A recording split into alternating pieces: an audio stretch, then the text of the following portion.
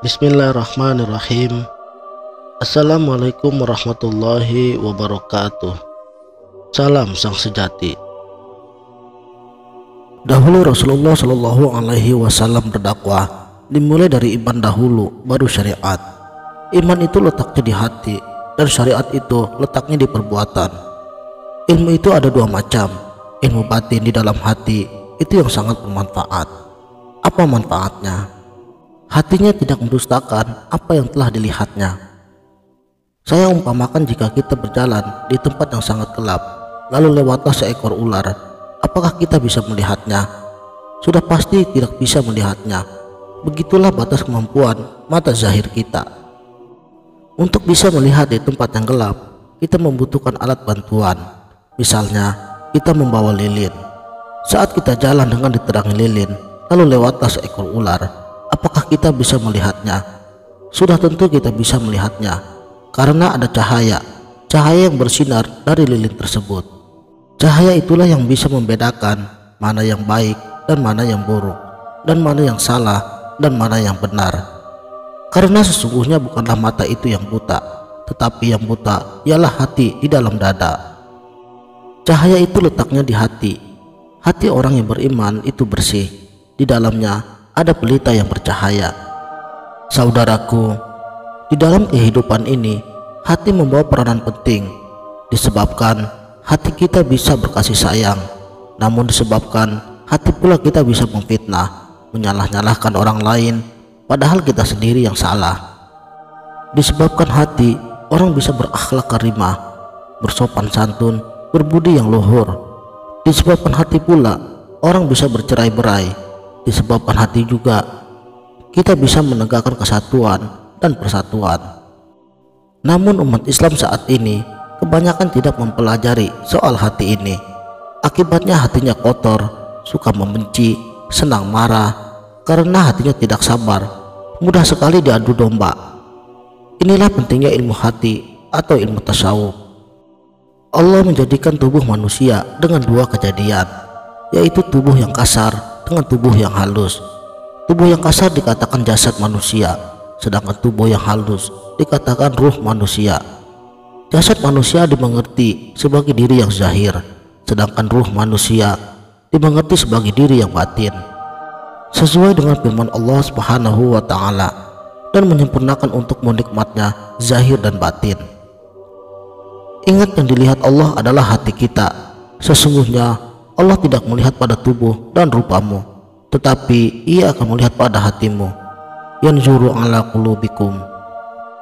Kalau diri yang zahir ini berbuat, maka dikatakan amal syariat. Sedangkan kalau diri yang batin ini berbuat, maka dikatakan amal hakikat. Bersyariat tanpa berhakikat ibarat tubuh tak bernyawa, sedangkan berhakikat tanpa bersyariat hukumnya batal atau tidak sah. Apa yang dikatakan amal syariat itu? Setiap kita beramal atau berbuat, alatnya ada tiga macam, yaitu kolbi, kauli, dan fi'li. Hati, ucapan, dan perbuatan. Amal syariat ialah kauli dan fi'linya, ucapan dan perbuatannya. Amal syariat itu dapat didengar dan dapat dilihat. Apa yang diucapkan dapat didengar dan apa yang dikerjakan dapat dilihat. Jadi jika kita belajar cara membaca dan cara bagaimana sholat, maka itulah yang dikatakan amal syariat, amal zahir atau amal di luar namanya. Lalu mana yang dikatakan amal hakikat itu? yaitu kolbi.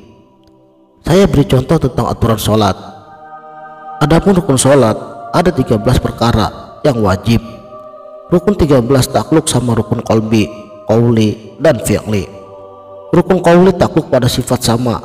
Apa yang diucapkan Nabi di dalam sholat dapat didengar. Ada hadis-hadisnya. Rukun fi'li takluk sama sifat basar. Apa yang dikerjakan Nabi di dalam sholat dapat dilihat ada pula hadis-hadisnya. Rukun fi'li takluk sama sifat basar. Apa yang dikerjakan Nabi di dalam sholat dapat dilihat. Ini pun ada hadis-hadisnya. Lalu hadis Nabi Muhammad Shallallahu Alaihi Wasallam tersebut menjadi aturannya menjadi syariat sampai sekarang. Sedangkan rukun kolbi takluk sama sifat ilmu. Apa isi hati Nabi tidak akan ada yang tahu kalau tidak punya ilmunya. Jadi fungsi kolbi ialah untuk mengerti apa tujuan dan makna perintah daripada Nabi sehingga kita bisa memahaminya. Jadi amalan qauli yaitu amalan yang berkaitan dengan lidah. Contohnya subhanallah, alhamdulillah, membaca ayat, bersolawat, mengucapkan kata-kata yang baik dan lain-lain. Amalan fi'li yaitu amalan berkaitan dengan tubuh manusia. Contohnya berdiri, ruku, tawaf, sa'i, dan lain sebagainya. Kemudian amalan kolbi, yaitu amalan yang berkaitan dengan hati manusia. Inilah amalan yang tidak dipelajari oleh Islam masa kini. Namun Islam zaman sekarang, kebanyakan yang dipelajari hanya cara membaca dan cara berbuat. Di dalam sholat pun begitu, yang dipelajari hanya cara berbuat dan cara membacanya. Pada akhirnya, tubuhnya sujud dan lidahnya membaca, namun sholatnya tidak menyentuh hatinya. Ilmu qauli kita pelajari untuk apa? Supaya kita pandai memuji Allah.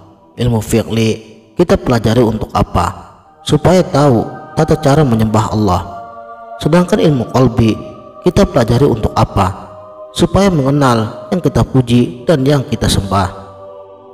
Kalau pelajaran kita hanya sebatas ucapan dan perbuatan, ingatlah Allah tidak bisa dikenal dengan ucapan dan perbuatan.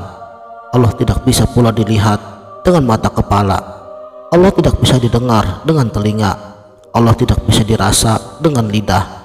Dan Allah juga tidak bisa diraba-raba dengan tangan. Dia tidak bisa dicapai oleh penglihatan mata. Wallahu a'lamu bishawab. Sekianlah, semoga bermanfaat. Wassalamualaikum warahmatullahi wabarakatuh.